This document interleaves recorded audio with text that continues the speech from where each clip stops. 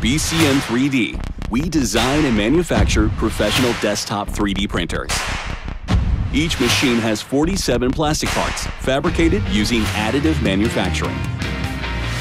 To optimize its fabrication, we use the IDEX technology, which doubles printer production capacity compared to conventional desktop 3D printers. Welcome to the BCN 3D Print Farm.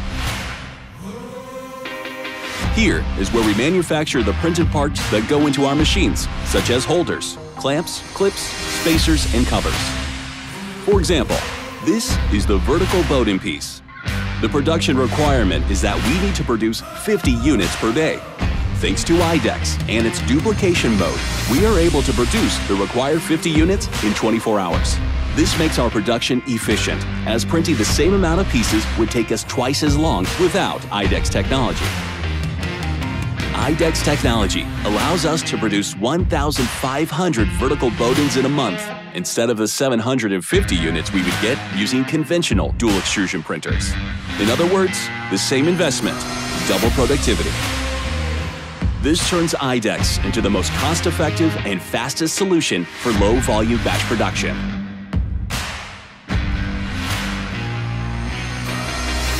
Most dual extrusion desktop 3D printers have both tool heads in the same carriage, but not our printers.